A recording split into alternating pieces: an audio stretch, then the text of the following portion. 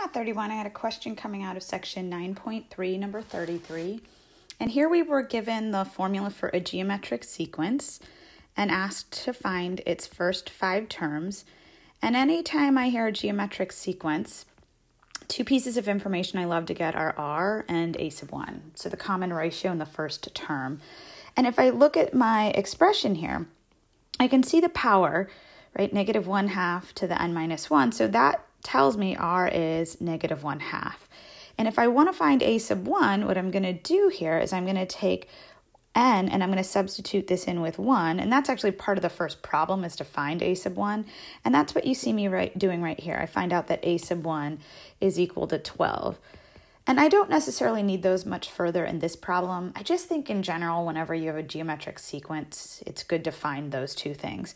So after that, it's a matter of taking your a sub n formula and plugging in your particular value of n. So what I mean by that is if I want a sub 2 over here, I'm going to put a 2 here, I'm going to put a 2 here.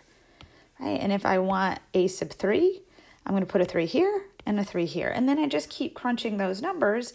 You can see we have an alternating sequence because we do have that alternator inside those parentheses.